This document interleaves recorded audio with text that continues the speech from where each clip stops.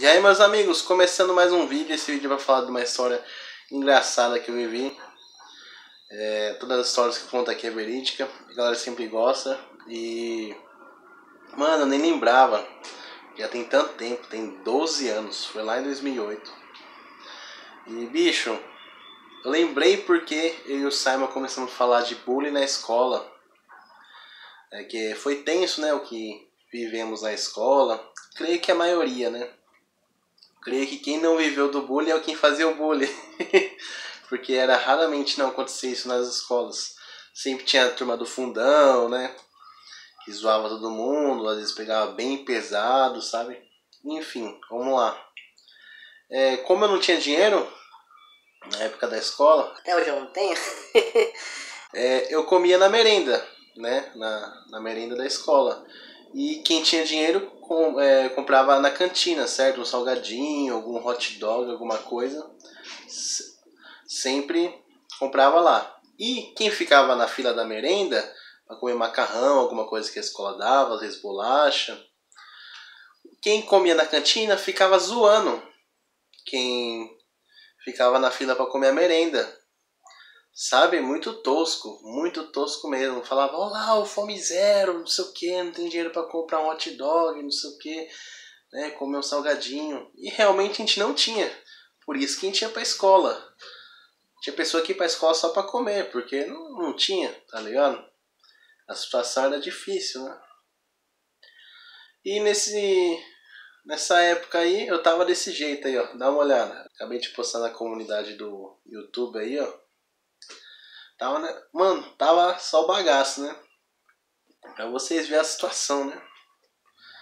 Enfim, aí apareceu uma menina. Ela era nova, né? Acho que tinha um mês, dois meses que tinha entrado na nossa sala. E lá eles me chamavam de Japa, né? E aí, Japa, não sei o que. Aí ela chegou. Falou, Japa, me paga um hot dog que eu fico com você.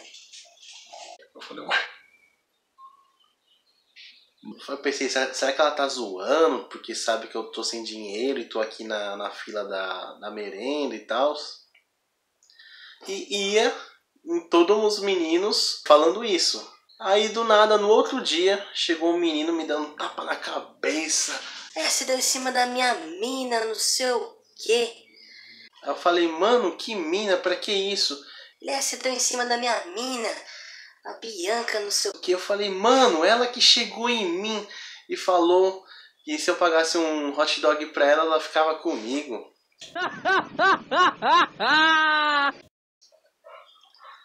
Aí ele abaixou a cabeça, ficou pensando. Não, beleza. Aí depois no outro dia, eu acho que o nome dele era Bruno, não lembro. Aí no outro dia eu falei, mano, você viu lá que os, os moleques fizeram comigo, falando que eu dei em cima da mina dele, não sei o que. Ele, mano, ela não tava é, falando pra todo mundo que se pagasse um hot dog ficava com a pessoa? Então, ele tava com ela porque ele pagou a, a coxinha pra ela.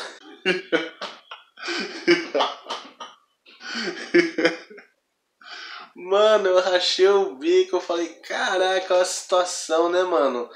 E tipo, ela não, não fez isso porque é, tava passando fome. Porque se ela tivesse com fome, ela ia entrar na fila da merenda pra comer com a gente. Mas não, queria hot dog, queria é, fazer tudo aquilo. Imagine como deve estar hoje em dia, sei lá. Também nem quero saber. Mas, mano, a situação, né? Que a pessoa chega, né? De fazer tudo isso. E acho que uns quatro anos depois, em 2012, eu estava em São Miguel Paulista comendo um pão de queijo e do nada chega esse mesmo menino, né, mais velho e tal, com uma garota Pô, vê duas coxinhas aí, mano. Eu rachei o bico, bicho. Eu falei, olha lá. Será que tá com essa daí porque tá pagando a coxinha? mano, que engraçado, mano.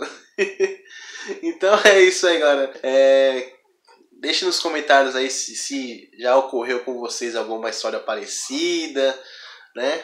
Ou alguma história engraçada. Que eu vou estar lendo aí os comentários, beleza? um abraço! Eu vou comer um hot dog. é.